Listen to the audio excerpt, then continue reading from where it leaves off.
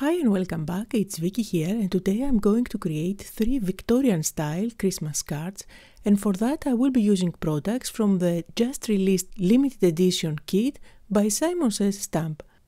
First let's take a quick look on what's included and remember this is not one of the regular kits, this is a limited edition kit so even if you are a subscriber and you want this kit you need to order it. So first of all you will get um, a clear embossing ink as well as this gold embossing powder. You will also get three bottles of glitter stickles in red, green and gold, perfect for Christmas projects. And what I absolutely love about the kit is that you get this package of ephemera. This is by Tim Holtz and it's packed with cutouts that I will be using actually for my cards today. You also get 6x6 pattern papers in beautiful Christmas colors. I love the traditional colors when it comes to Christmas, so this is um, completely my style. As you can see they are 6x6, they are double-sided with lots and lots of patterns. And uh, the papers are by Echo Park from their Celebrate Christmas collection. You also get this uh, ribbon, a green ribbon by May Arts, a little Santa it's one of those Tim Holtz dolls that you can ink up and use on your three-dimensional projects. Now there are lots and lots of tags, bigger, smaller, manila colored, craft colored. You get three little envelopes, one of them is actually vellum. You also get bigger envelopes in craft, as well as in white, green and red. Now the kit comes with two stamps. This is the 6x6 background stamp, which is a rubber stamp and it gives you a beautiful pattern, which I will be using in this video today. And you also get this adorable 6x8 clear stamp set, which is packed with sentiments, lovely designs, with snowflakes and uh, ornaments and little gifts. And it's called Comfort and Joy. And finally you get four different colors of cardstock in red, green, white and craft.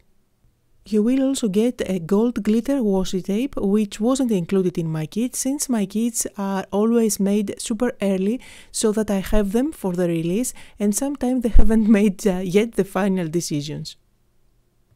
For today I'm going for uh, three cards that will be very Victorian style ones, very traditional colors and I will show you different ideas on how you can use the cutouts from the ephemera pack.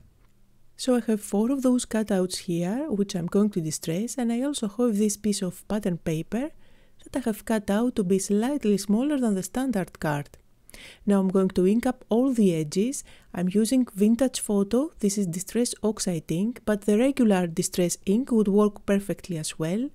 I'm inking up the edges of my red cardstock, and you can see how this is going to give a lovely border around my panel.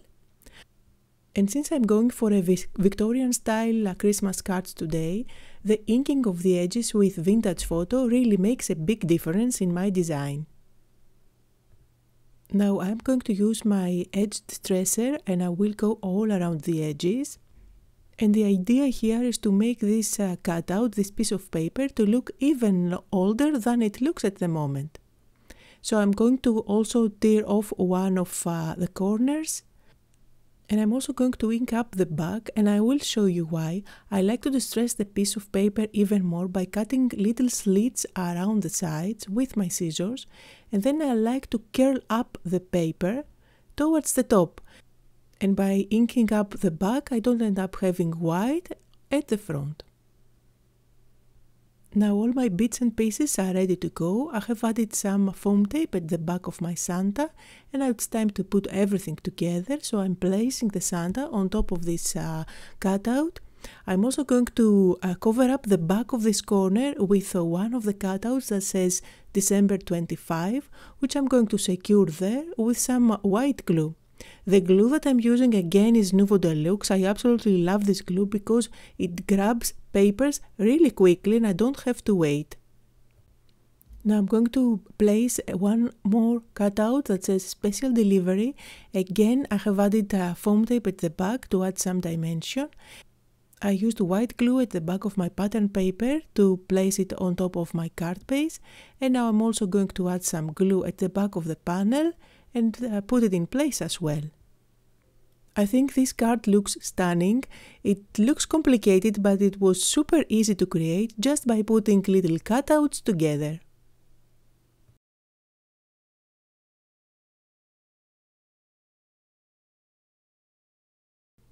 Moving on to the second card that I'm sharing for today, I'm using again pattern paper that I have cut out to be slightly smaller than my card base and I'm going to work on this pattern paper to make it shiny.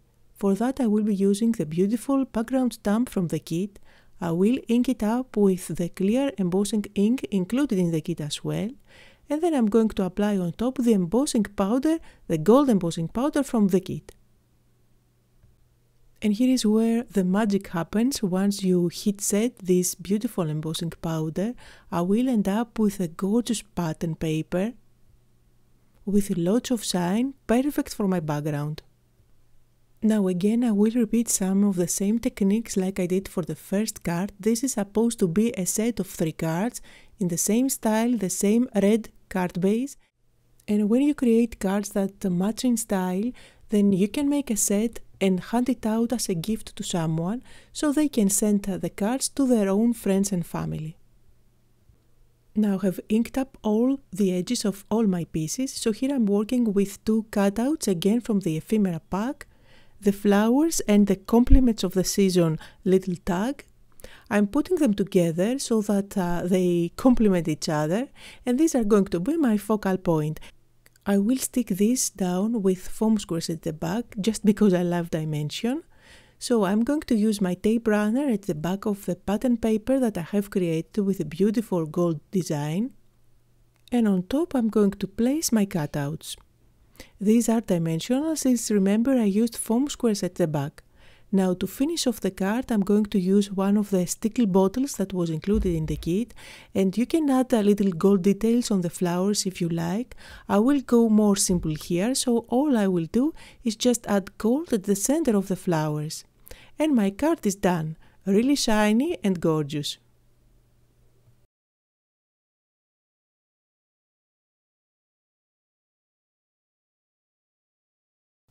And now let's move on to one more idea using the cutouts from the ephemera pack. This cutout has uh, two songs which I'm going to separate so I will end up having two little pieces with the notes on two Christmas songs. And I have pulled out one of the trees. There is one more identical which is slightly larger and I don't want to have the ground so I'm just chopping it off. So remember that you can customize those cutouts in the ephemera pack. You don't have to use them as they are. This way you can make them work with what you have in mind for your project. And we are working on a set of cards here, so again the same techniques. I'm going to distress the edges and I'm going to ink up the edges with my uh, vintage photo distress oxide ink. And again, just like I did with the first card, I'm going to cut out some slits and I'm going to curl up the paper, again inking up uh, the back, making sure that I don't end up with uh, white uh, edges.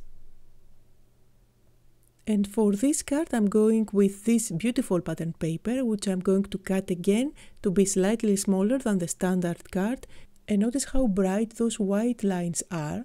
So I'm going to use my blending tool with what's left on it. I'm not going to load it with ink at all and just go over those lines to make sure that they are not as bright as they were in the beginning.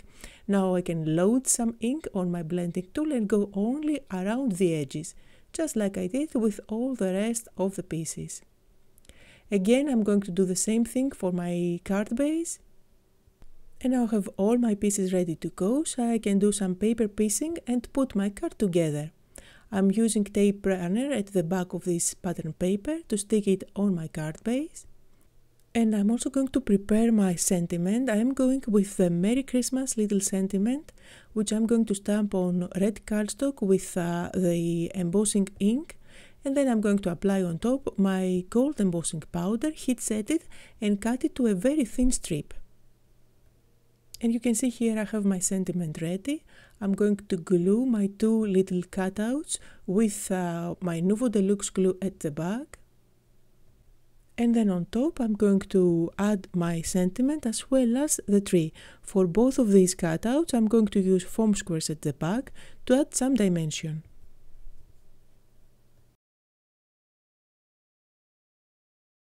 And finally, to add some shine and sparkle on my card, I'm using the red Stickles bottle from the kit to decorate my tree with ornaments. And here are some close-up photos on the third card for today. And let's take a quick look on all the three cards that I made, a lovely set in beautiful Christmas colors, using products from the limited edition card kit by Simon Says Stamp.